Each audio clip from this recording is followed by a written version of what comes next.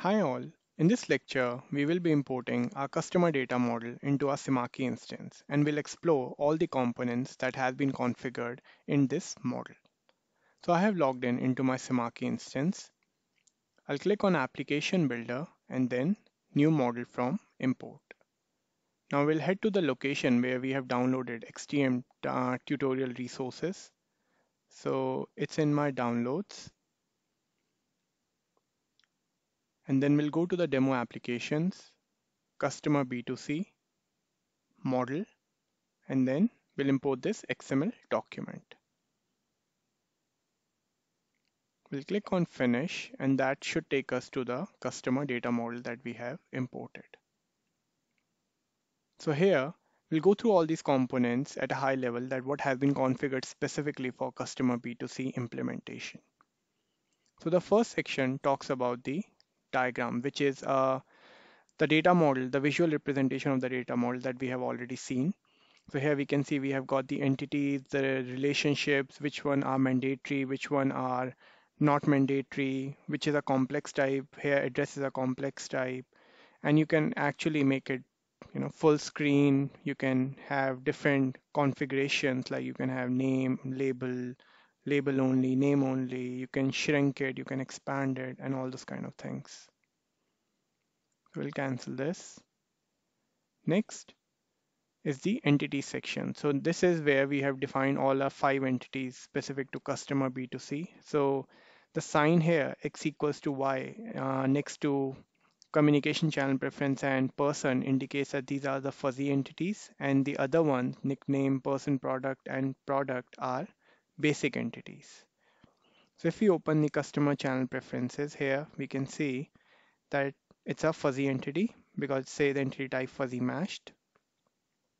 We have got the historization enabled, which means historized golden records and historized master records, they have been checked.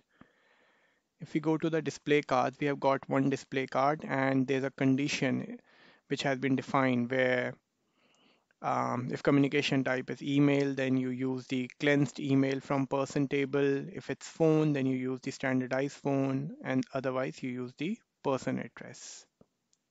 And if nothing matches, then you just return the first name in the display card. So next would be the attributes. This tells us how many attributes have been defined for this specific entity. There are no unique keys defined, there are no validations and no enrichers. And as the fuzzy entity, we have got one matcher or one match condition defined. So if we open that match condition here, we can see there's only one condition which is going to give which is going to give 100% match. So if we open this matching condition, we can see it says that if record one um, golden ID is equal to the record to golden ID and the communication types are also equal, then it will return 100% match.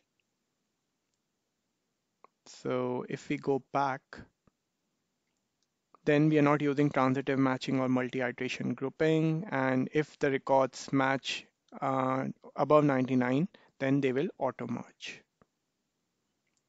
So we'll go back to the communication channel preferences entity then we talk about the survivorship rules. There's one default rule which has been set and is valid for all the attributes that we have in that entity.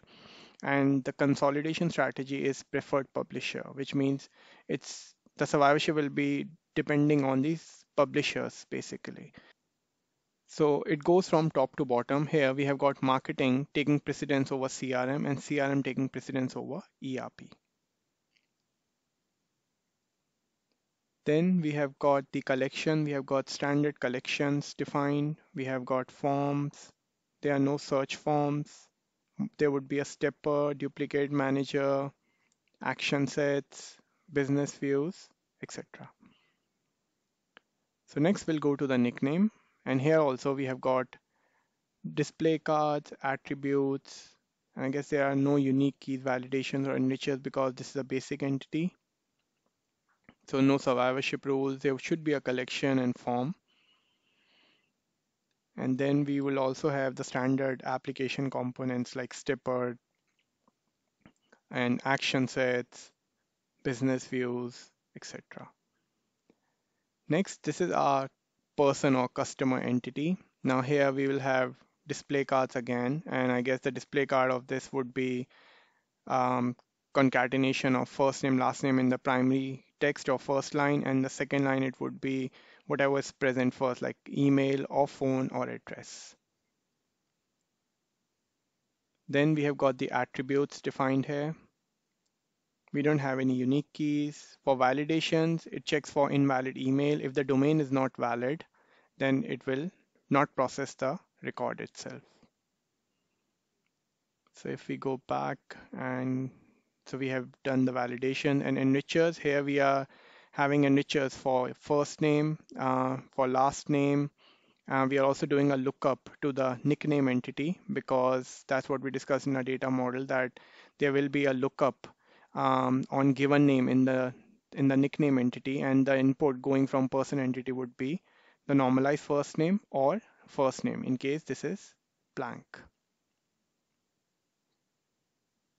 And the other enrichers would be filling in unknown nicknames. You have to normalize the address. If you normalize the address, we are doing it with city, state, and street. So there are some conditions for that.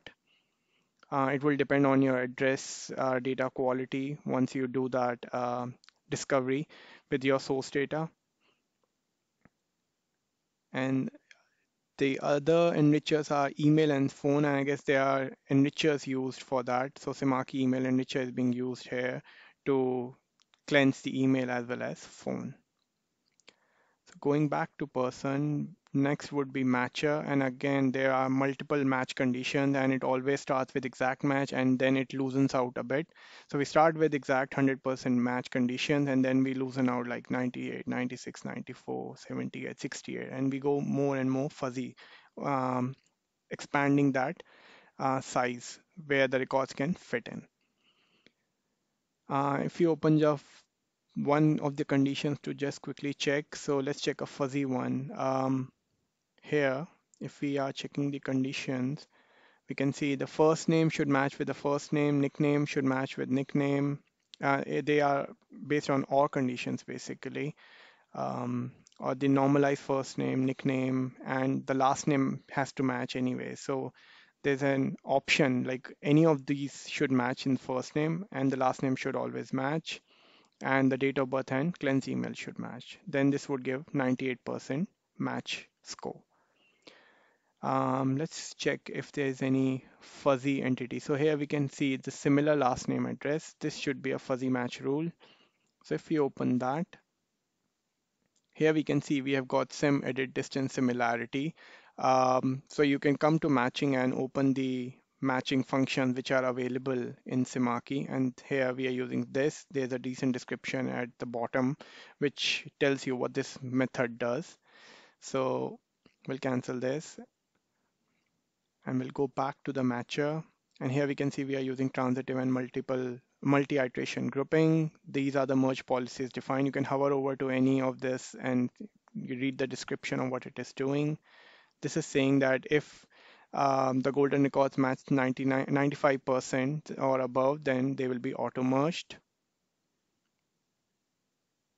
So we'll go back to person and then we'll click on survivorship. Now, based on different attributes, you can have different survivorship rules. For example, we have got one for address, components, and here we are saying ERP will take precedence over marketing, marketing will take precedence over CRM because the consolidation strategy is preferred publisher. There are a few others if you want you can choose from those.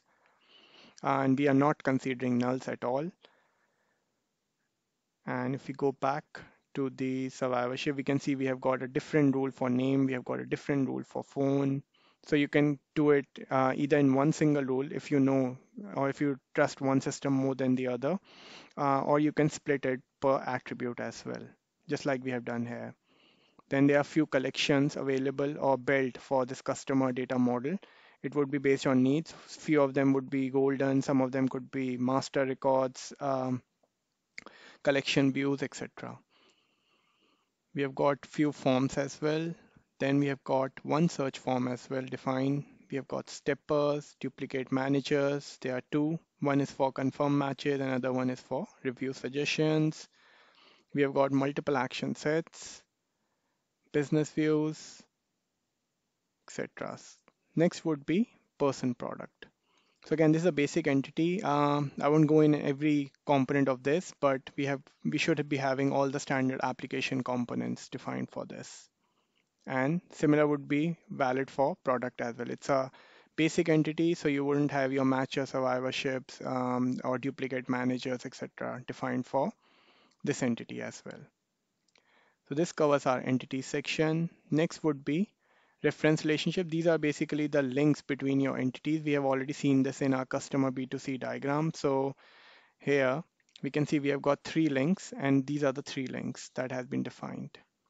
We do not have any workflow defined for customer because that also doesn't make sense that why would you have a, a workflow to onboard a customer.